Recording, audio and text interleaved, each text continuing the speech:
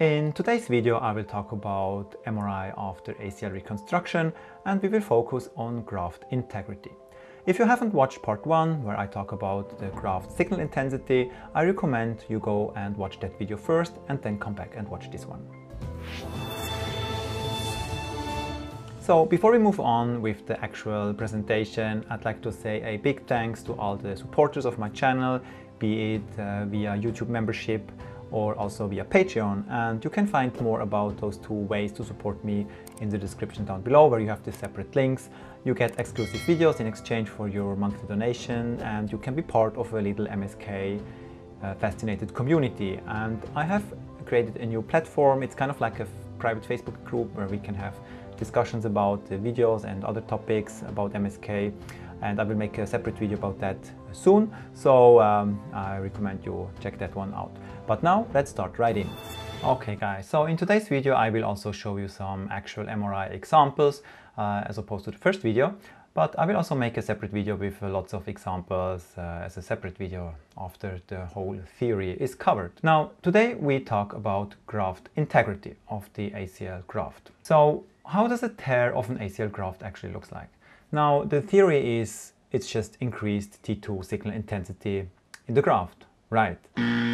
Mm-hmm. It's not so easy. There are a few different signs that can help us assessing a tear of an ACL graft. So the classical teaching or the primary signs are if you have an obvious discontinuity of the fibers, that's obvious. If the graft is thinned, which means it's not the original thickness, that means that some fibers are torn and not visible anymore if there is an increased signal, but this can be tricky as we saw in the first video. So signal intensity is not the best thing, and certainly not in the first postoperative year, so be mindful about that. It can be important later on, obviously, after the ligamentization is complete. And if you have wavy appearance, lax fibers, uh, if the graft or some of the fibers are oriented in a horizontal way, or all of the fibers, this is also a sign of a ACL tear or a re-tear of the graft. Now there are some secondary signs. I mentioned here only the anterior tibial translation. It's not the best sign, so you can have tears without that sign, but I think it's and, and the opposite way as well. So you can have anterior tibial translation, but still have an intact graft. But I think it helps us to really be mindful about what the ACL actually does, and I recommend you have a look at this, and we will have a look here briefly as well. So the problem with tears of ACL graft on MRI is that you need to have a proper clinical correlation and a clear medical history of a new trauma that is necessary to be there in order to confidently make a call of a torn ACL graft unless it's very, very obvious. Because MRI alone is just not really good. And there was a study with 50 patients that actually underwent a revision surgery because the ACL reconstruction failed and was torn.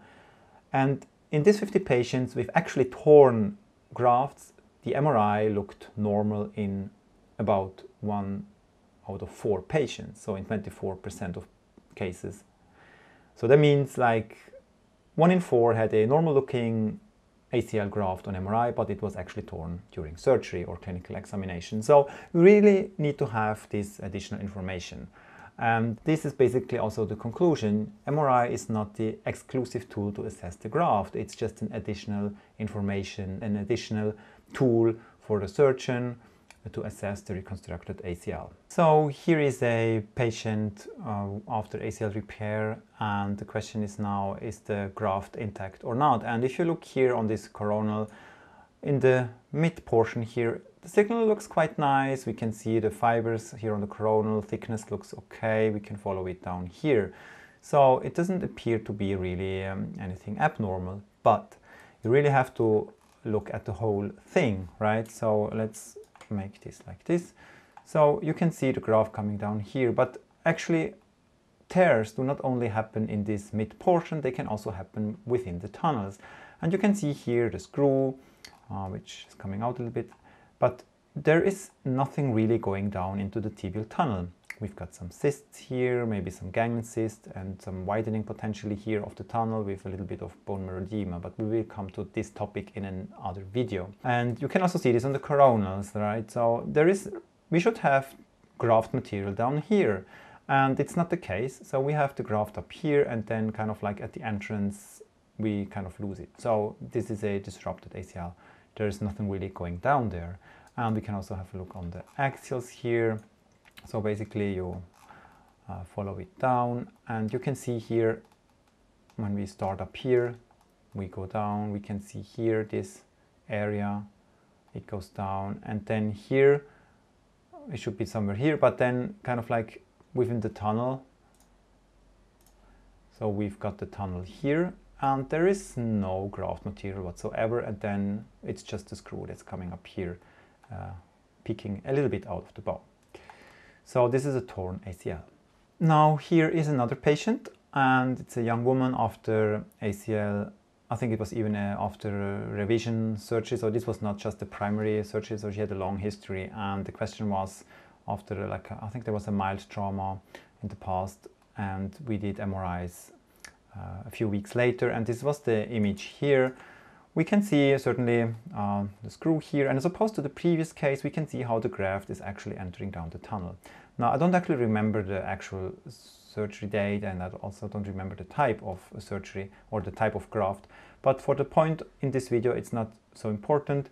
So we can see graft material down here. We can see certainly graft all the way up here into the tunnel as well. So at least some of the fibers are intact.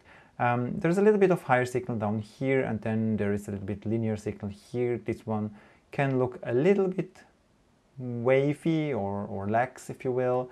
Maybe here, this portion here looks also a little bit too high signal intensity. Um, so because the case is anonymized, I, I, can't really go back and have a look at, at the actual notes. So, uh, but just to show you here, this was a surgically proven tor like torn ACL at, uh, at surgery a few weeks later.